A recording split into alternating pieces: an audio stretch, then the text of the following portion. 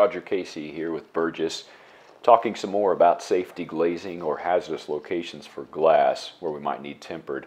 Are there general requirements for windows apart from the obvious? If they're not next to stairs, ramps, landings, doors, wet surfaces, etc., are there conditions which throw a window into the requirements for safety glazing without those other extraneous factors? Yes, there are. So let's take a look at the IRC section R308.4.3. This is just general glazing in windows.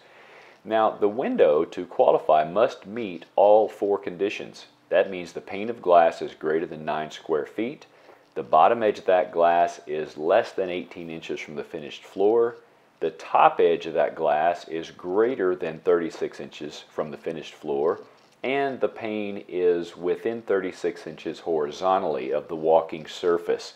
I'll have an acronym at the end of the video for SAFE that'll help walk you through these steps. So let's take a look at a scenario. Here's a window that's uh, tempered. Let's see if it really needs to be. Let's start checking, uh, running through our paces of the four requirements to find out. First, we'll check the area, length times width, and we measure this, it's 8 square feet. So it's not greater than 9, so that automatically disqualifies it. But let's run through the rest of the steps to, to see. The floor is 20 inches away. There's another no-go.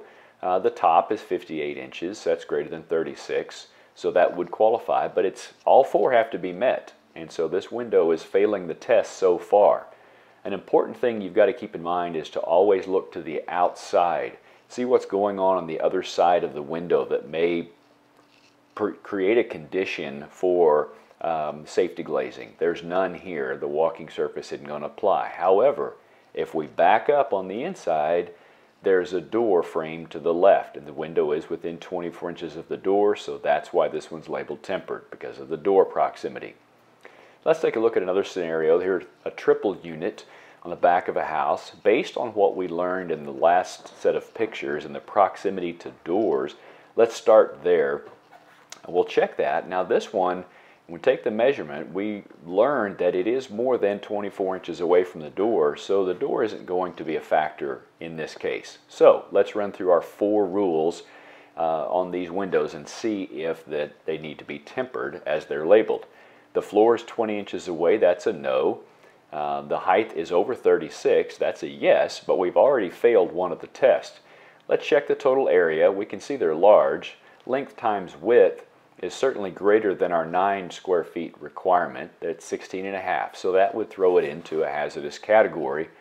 Uh, and one more thing to check, always check the other side of the glass, see what's going on. There are no conditions here such as walking surface or wet surface that would uh, create a hazard.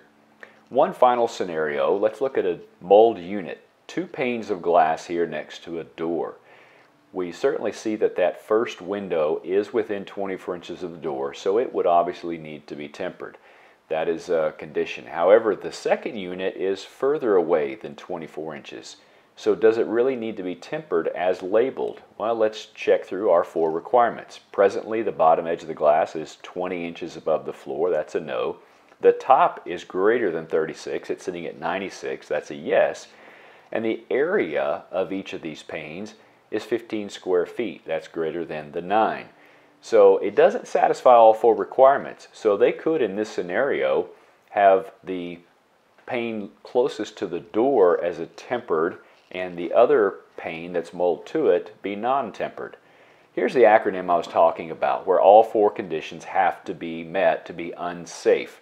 The surface, uh, walking surface, is within or less than 36 inches horizontally from the glass. The area of an individual pane is greater than 9 square feet. The floor, and remember this is finished floor, is less than 18 inches from the bottom edge of the glass.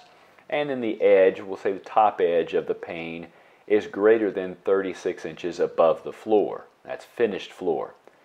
So all four rules have to be met, all have to apply. And as a final picture, you look at these three windows. The far left is labeled tempered. It is not greater than 9 square feet. None of them are, and it's not close enough to the door to matter.